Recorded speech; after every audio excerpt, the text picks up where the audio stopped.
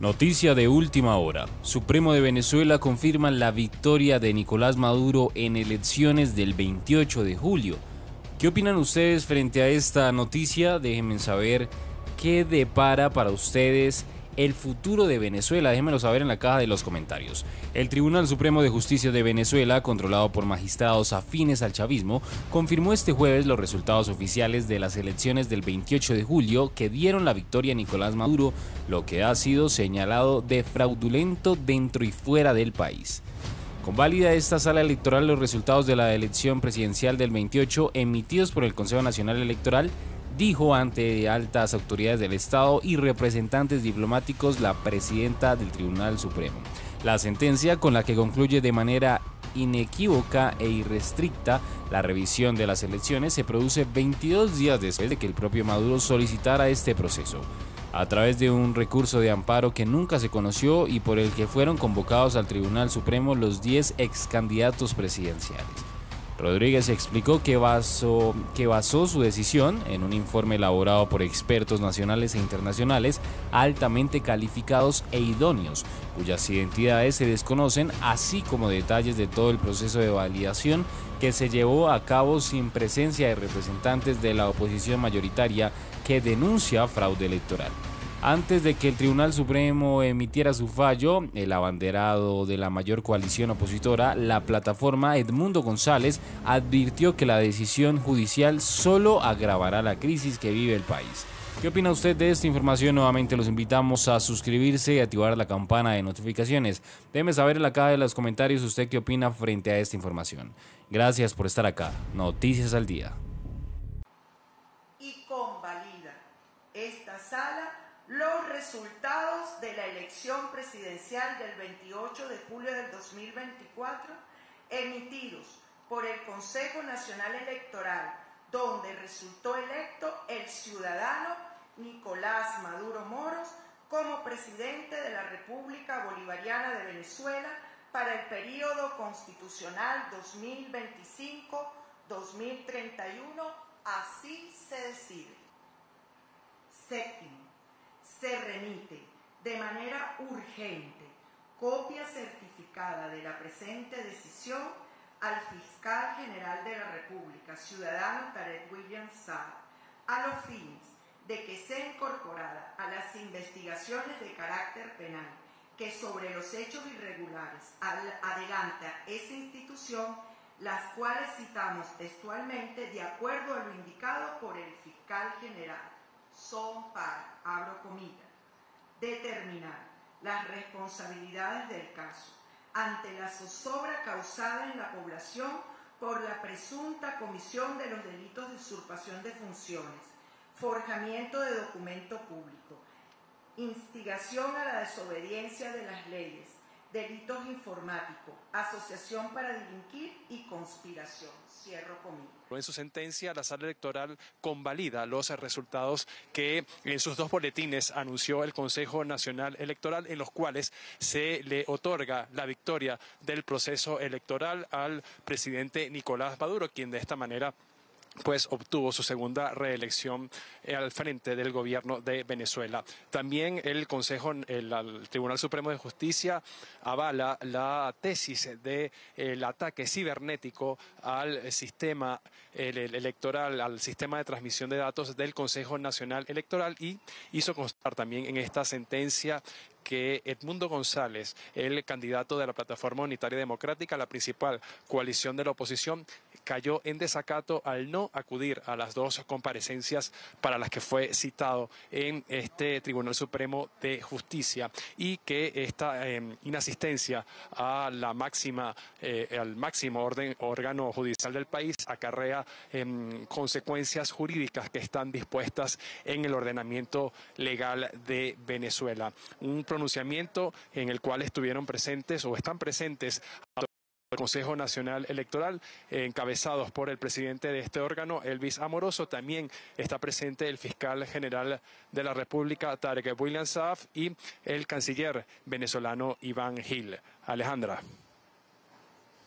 Bueno, Manuel, es importante destacar sobre todo a nuestra audiencia internacional que nos está viendo a esta hora a las 12 del mediodía con 34 minutos que tanto el Tribunal Supremo de Justicia como el Consejo Nacional Electoral son dos organizaciones que están encabezadas con distintos funcionarios vinculados al chavismo, que son adeptos al oficialismo y que dentro de los escenarios ya algunos analistas eh, estaban seguros que lo más probable es que la respuesta iba a ser esta. Ahora bien, eh, no sé si tenemos la oportunidad, si me estás escuchando bien, sé que estás en medio de toda esta noticia de último momento, sobre todo dentro del Tribunal Supremo de Justicia, pero se habló de una investigación dentro de los mejores estándares internacionales, no publicaron la información de cómo se llevó a cabo la investigación ni hablaron en las actas en específico. ¿Qué va a hacer ahora el Tribunal Supremo de Justicia para confirmar y convalidar lo que dijeron hoy acá, además de haber dicho precisamente que, bueno, instaban al Consejo Nacional a publicar las actas, que lo tienen que hacer, ojo, 30 días después de la elección. Sí, eh, en parte de la sentencia pudimos escuchar a la presidenta de la sala electoral, también presidenta del Tribunal Supremo de Justicia, que ordena al Consejo Nacional Electoral a publicar los resultados de eh, las elecciones presidenciales del pasado 28 de julio. El Consejo Nacional Electoral va a publicar los resultados que ya anunció en sus dos boletines, eh, resultados que le otorgan la victoria a Nicolás Maduro con el 52% de los eh, sufragios. También, por otra parte, eh, condenó la publicación de los resultados de las actas. El 80% de las actas que publicó la oposición en una página web dijo y reiteró la presidenta del Tribunal Supremo de Justicia que esa página está bajo investigación. Manuel, tengo que interrumpirte porque está en estos momentos hablando el fiscal general Tarek William Saab. Tengo que interrumpirte, disculpa. Está hablando en estos momentos el fiscal Tarek William Saab, el fiscal general de la República. Vamos a escuchar lo que dice. Importante destacar, entidad también que son con miembros del chavismo.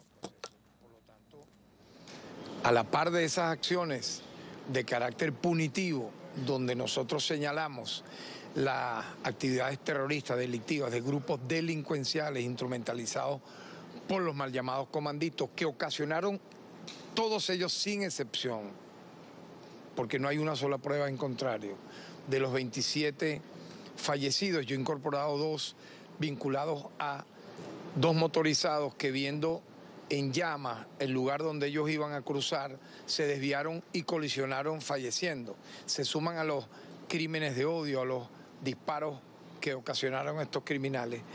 Debo decir que de manera paralela a esa investigación que tiene detenidos, estamos entonces haciendo uso de todos los recursos jurídicos correspondientes y, acatando de manera inequívoca ese dictamen que ha dado el TCJ para avanzar, profundizar en esas investigaciones que van a tener resultados y los vamos a anunciar en, la, en el momento correspondiente. Muchísimas gracias también. Sí, Alejandra, justamente ahora habla el canciller eh, de la República, Iván Gil, lo podíamos ver a través de la señal del Estado, nos están indicando que tenemos que salir de la sala del Tribunal Supremo de Justicia. Si quieres, eh, vamos saliendo y te sigo narrando la situación o retomas tú la señal. Eh, me estoy retirando del salón, seguimos aquí en el Tribunal Supremo de Justicia, pero nos están indicando que debemos abandonar la sala como tú mencionaste y eh, se puede ver a través de la señal del canal del Estado, está ahora pronunciándose el canciller Iván Gil luego de las palabras del fiscal general de la República, Tarek William Nosotros vamos al o vamos al, exterior del Tribunal Supremo de Justicia. Vamos a esperar si cuando salgan las autoridades vuelven a declarar en las afueras del Tribunal Supremo de Justicia o las declaraciones van a seguir realizándose adentro en la sala desde la cual se pronunció la presidenta de la sala electoral, Carislia Rodríguez. Vamos entonces a esperar aquí, Alejandra, en las afueras del tribunal. Ya no tengo la visual del salón en en, el cual se realizó el pronunciamiento. Este, vamos aquí, me puedes ver aquí caminando y aquí vamos a esperar los medios de comunicación a que, a que se produzcan Sí. Estamos en este momento con una noticia muy fresca, es una noticia en desarrollo, por eso están viendo un poco nuestro desorden visual, porque es algo que acaba de pasar y es importante destacar que los miembros del Tribunal Supremo de Justicia, justo después de que se lleve a cabo este anuncio, le piden al equipo de prensa que eh, se retire y es por eso que Manuel tuvo que retirarse de manera inmediata del Tribunal Supremo de Justicia, algo que ha ocurrido también en el pasado. Mira, eh, Manuel, esto me recuerda a una publicación que tuvimos en cnn.com el pasado 7 de agosto, que habla lo siguiente, por qué los resultados de la oposición de Venezuela se pueden comprobar y los del Consejo Nacional Electoral. No, así se titula precisamente este artículo. Invito a nuestra audiencia que lo lea porque la verdad es muy interesante y es un análisis de varios expertos de CNN, ha pedido precisamente de CNN de los resultados ofrecidos tanto por el Consejo Nacional Electoral como por el opositor Comando con Venezuela, que concluye que los números que daban como ganador a Nicolás Maduro son una improbabilidad estadística, que la realidad es que al analizar ambos números, lo que dice de Nicolás Maduro es una improbabilidad estadística, que las matemáticas no mienten, para llamarlo de manera coloquial, mientras que los datos publicados por el portal web por los representantes de Edmundo González Urrutia, pues son un, cuadran de una manera tanto matemática como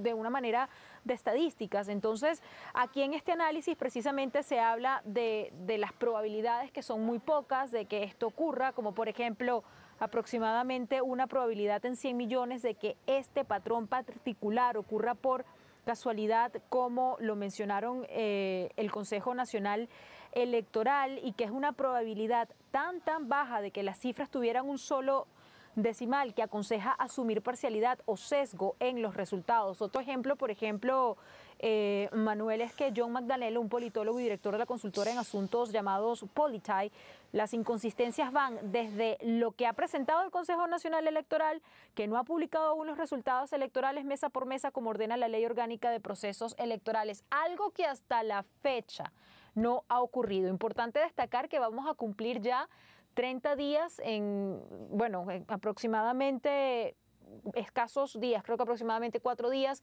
donde ya tendrían que ser publicadas las actas por el Consejo Nacional Electoral. Tenemos en estos momentos a Eugenio Martínez Puscas con nosotros en vivo, analista político, para poder hablar de lo que anunció el Tribunal Supremo de Justicia a las 12 del mediodía con 50 minutos. Eugenio, te saludo. Manuel, quédate con nosotros. Estaremos contigo más adelante en minutos y cuéntanos lo que va pasando en las afueras del Tribunal Supremo de Justicia. Eugenio, gracias por estar con nosotros. Ya estás en vivo en CNN en español. Primero, ¿le sorprende el anuncio de convalidar los resultados por parte del Tribunal Supremo de Justicia y qué va a pasar ahora con esto? No, es, no es un anuncio que sorprenda si consideramos que en los últimos 20 años solo el 2% de las decisiones que ha tomado el Tribunal Supremo de Justicia han sido contrarias al gobierno venezolano. Y la última vez que la sala electoral tomó una decisión favorable a la oposición venezolana fue en el año 2008. Pero más allá de eso, este, no sorprende la decisión en la medida que el peritaje, el supuesto peritaje que ha hecho el Consejo Nacional Electoral, no ha cumplido o no ha tenido ningún tipo de rigor, no se ha explicado en qué consistió el peritaje y más allá de eso, el Tribunal Supremo de Justicia, incluso con lo que lee hoy la presidenta de, de esta instancia, ni siquiera valida que el material que le entrega el Consejo Nacional Electoral se corresponde con las actas y las bases de datos que fueron emitidas o, que fueron generadas el 28, el 28 de julio.